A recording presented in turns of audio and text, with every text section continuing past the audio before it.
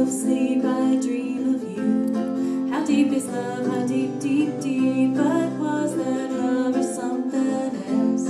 I gotta find out for myself. I dreamed I called you yesterday to say hello before you go. And by the time you answered me, we said goodbye once more.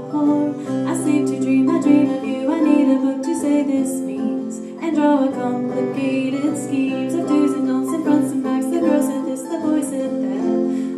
to explain, complaining you're not here.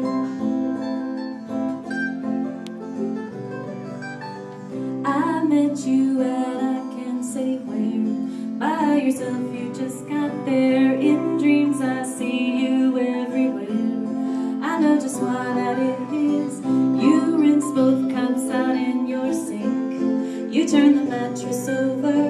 It seemed the start of something big, something to get over.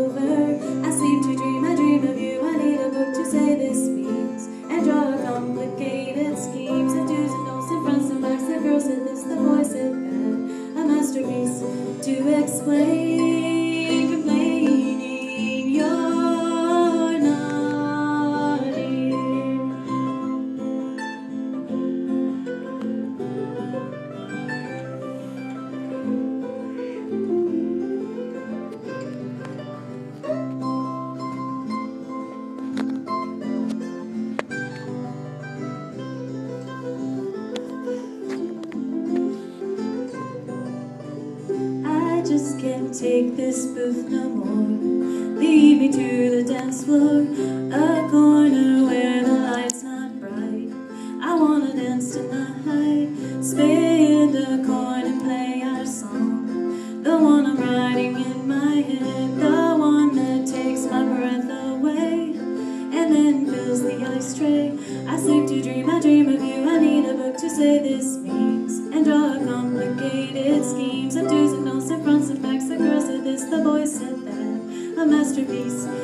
explain,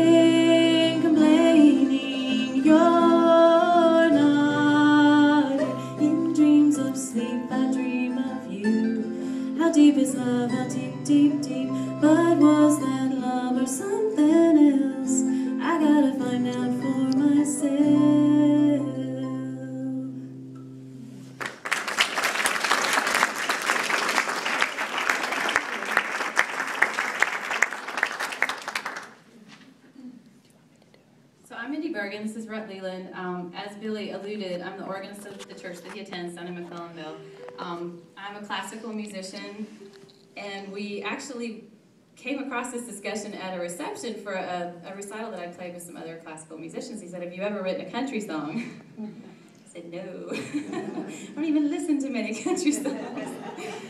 But he sent me the poetry, and it was it was just something that really spoke to me. There was something about the way that he uses language that that resonated, and and then I saw some of the photographs, and the project really took on meaning because these are things that need to not be forgotten for a reason. And I think that's true about both the crumbling buildings and the culture that it represents as well.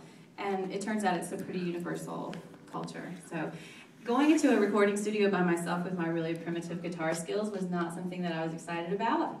So I met Rut, who saved the day. He's a fabulous, fabulous musician. It's just been such a pleasure to work with him, and I'm thankful he's here today. Likewise. This is called When They.